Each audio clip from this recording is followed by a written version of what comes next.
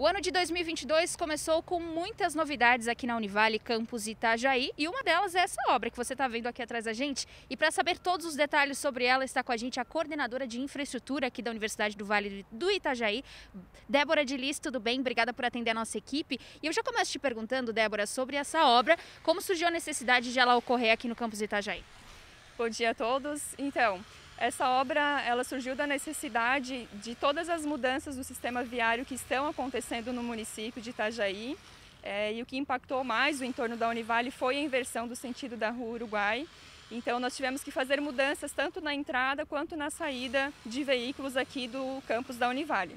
Então nós já executamos é, em 2020, 2021 a mudança na entrada na rua Uruguai, né? toda a frente foi alterada e aí agora nós estamos com essa obra, que é a nova saída de veículos do campus, que vai é, não ser na Rua Uruguai, mas então na Contorno Sul, onde nós tivemos essa possibilidade, trabalhamos junto com o município em várias alternativas, vários estudos foram desenvolvidos, e aí nós estamos agora com essa obra é, que iniciamos já no dia 10 de janeiro e estamos aí a todo vapor.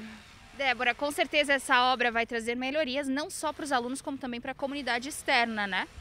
Com certeza é, porque nós temos hoje funcionando só a saída da Univale lá próximo ao ginásio, né, onde nós já tínhamos as cancelas, elas vão continuar operando normalmente, mas agora com a retomada das aulas, cada vez maior presencialidade de alunos e também a movimentação de, da comunidade externa que vem buscar os nossos serviços, então nós realmente precisamos de uma nova saída para que o fluxo interno flua de forma correta e segura também e para que eles possam entrar e sair do campus em segurança é, e não gerando congestionamento e não tendo retenção de fluxo aqui no campus da Univale.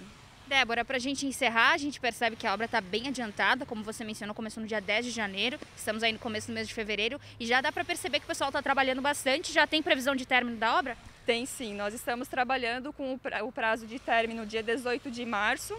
É, estamos trabalhando aí para que essa data seja concluída. Claro que uma obra externa depende muito de condições climáticas, né? Semana passada tivemos aí dois, três dias de chuva, já tivemos que parar, mas a princípio vai dar tudo certo para a gente entregar no prazo determinado.